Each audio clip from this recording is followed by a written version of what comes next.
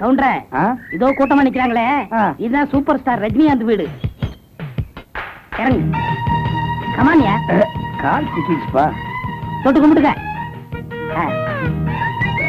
Stop கரோ stop கரோ என்ன சொல்றாரு? ஹிந்தி தெரியும்னு சொன்னீங்க? அந்த இந்தி வேற இந்த இந்தி வேற. ஓ ஹிந்தில ரெண்டு இருக்குன்னு இப்பதான் நான் ஆ. தெரிஞ்சுக்கிட்டேன் ஏய் யார பார்த்து நிப்பாட்டுற இங்க பாத்தியா? எங்க முதலாளி ஆளா.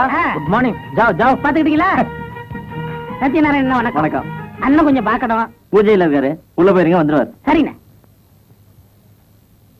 இங்க பாருங்க ரஜினி சார் எது கேட்டாலும் ஆமா ஆமான்னு சொல்லணும். புரியுதா? அப்படி சொல்லணும்னா உங்க கதையை ஓகே பண்ண மாட்டாரு. நான் முத போறேன். நீங்க கூப்பிட்டதுக்கு அப்புறம் வாங்க.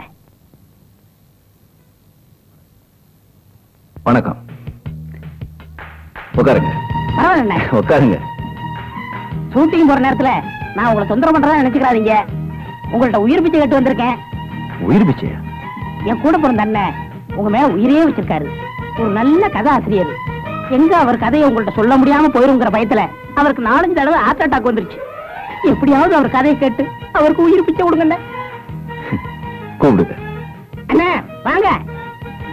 வணக்கம். வாங்க. உங்களை பத்தி உங்க கூட பிறந்த தம்பி எல்லாம் சொன்னாங்க. கூட பிறந்த தம்பியா? ஆமா ஆமா. உட்காருங்க. பாவம் உங்களுக்கு என்கிட்ட கதை சொல்ல முடியாம நாலு தடவை ஹார்ட் அட்டாக் வந்துருச்சுன்னு சொல்லி உங்க தம்பி சொன்னாங்க. எனக்கு ஆத்து ஆமா. I am telling story very important matter எனக்கு தமிழ் தெரியும். தமிழ்ல? கதை சொல்லலாமா? இந்தியாவிலேயே என் உலகத்திலேயே இது வரைக்கும் யாருமே சொல்லி இருக்க முடியாத ஒரு புதுமையான கதை சார் இது. கதை சொல்லுங்க. A centre B centre Z centre வரைக்கும் ஓஹோன்னு ஓடக்கூடிய ஒரு கதை சார் இது. கதை சொல்லுங்க. கதை என்ன சார்? காரம் மணம் குணம் கடுகு உளுந்தம்பருப்பு சென்டிமெண்ட் இப்படி மசாலா கலந்த ஒரு கதை சார் இது. முதல்ல கதை சொல்லுங்க. நம்ம கதையை ஓபன் பண்ண உடனே அழகான ஒரு கிராமம். அந்த கிராமத்துல பச்சை பசேலுங்கிற செடிகளும் கொடிகளும் ஆறுகளும் குளங்களும் குட்டைகளும் இருக்கு சார். அது லொகேஷனுங்க அதான் லொகேஷனா அந்த கிராமத்துல ஒரு பெரிய மிராஸ்தார் அந்த மிராஸ்தாருக்கு ஒரு பொண்ணு சார். அந்த பொண்ணுக்கு சுயவரம் நடத்துறார். சுயவரத்தை ஒரு பெரிய ஃபுட்பால் கிரவுண்ட்ல நடத்துறார். பதினெட்டு பட்டி மிராசார்களை வர வைக்கிறார். நடுவுல ஒரு ஏற்கலப்பையும் வைக்கிறார். அங்கதான் சார் கதையினுடைய நாட்டே இருக்கு. அந்த ஏற்கலப்பைய யார் எடுத்து வளைக்கிறாங்களோ அவங்களுக்கு தன் பொண்ணை கொடுப்பேன்னு சொல்றார். பதினெட்டு பட்டி மிராசாரும் வர்றாங்க. அந்த ஏற்கலப்பைய தூக்கவும் முடியல அசைக்கவும் முடியல. முக்குறாங்கோ முணுங்குறாங்க குக்குறாங்க. நீங்க வர்றீங்க சார். ரெண்டே விரல்ல உங்க ஸ்டைல்ல அந்த ஏற்கலப்பை அப்படியே தூக்கி ஒரே அடியில பட்டுன்னு உடைக்கிறீங்க. தர தர தர தர தர தர தர. அப்ப மியூசிக் போடுறோம். நீங்க அந்த பொண்ணை பாக்குறீங்க. பொண்ணு உங்களை பாக்குது. அண்ணனும் நோக்கினாள் அவளும் நோக்கினாள். அந்த இடத்துல சார் பெரிய லாக்கே போடுறேன். விதி சித்தி ரூபத்துல விளையாடிருச்சு. அந்த பொண்ணுக்கு செவ்வாய் தோஷம். அந்த பொண்ணை நீங்க கல்யாணம் பண்ணிட்டா பதினாலு வருஷம் ஜெயிலுக்கு போகணும். இது ராமாயணமாச்சே? என்னது ராமாயணமா? ஆமா. வில்ல கலப்பை ஆகிட்டீங்க வனவாசத்தை சிறவாசமா மாத்திட்டீங்க? அது கம்பர்னு ஒரு பெரியவர்கிட்ட கதையை சொன்னேன் சார். அந்த ஆள் கொண்டு போய் யாருக்கோ ஊத்திட்டாரு போல இருக்கு அது கிடக்குது சார். இன்னும் எக்கச்சக்கமான கதை என்கிட்ட இருக்கு. இன்னொரு கதையை சொல்றேன் கேளுங்க சார். இது என்ன சார்? அஞ்சு விரல்.